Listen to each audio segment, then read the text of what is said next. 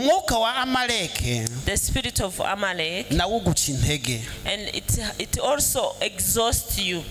ushobora kuza mu ishusho y'umuntu. It may come as a, a person, uwo muntu akaguca intege in, and that person gives you bad news. ngo urajya gusenga ushaka iki And it comes to you asking, telling you, why are you going even to the church? ngo reba ukwezi kurashize look at you, the, the, the, month has always passed. ujya gusenga And you have been praying the whole nta na kimwe kirakoreka has been working out. umwuka wa marayika ukakubwira ko The spirit of Amalek tells you, ngo reba look, nta n'umwe mu- muri muri famiye yanyu wigeze uzamuka it, shows you that there is no one in your family that has actually been mu kuwutsinda So, uzababwira overcoming uti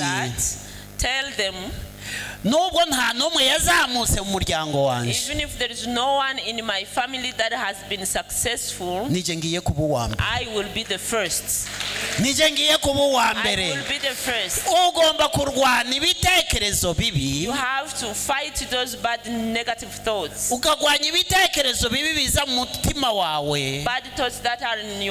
Kuko n'umwuka mubi wa amaleki.